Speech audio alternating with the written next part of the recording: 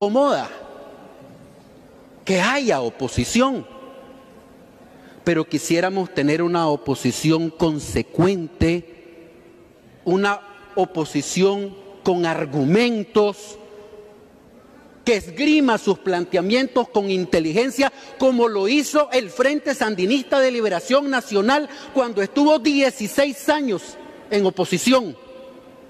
Y aún estando en oposición, cuando los proyectos de ley eran correctos, adecuados, estaban ajustados a la ley, eran necesarios para el país, siempre votamos a favor de esos proyectos, aunque estuviésemos en oposición.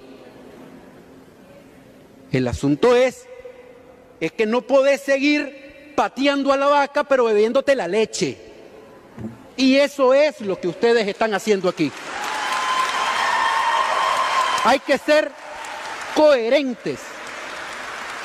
Si creen que el Estado nicaragüense no es democrático, no deberían estar aquí desarrollando el ejercicio democrático de votar a favor o en contra. ¿No es acaso eso la democracia?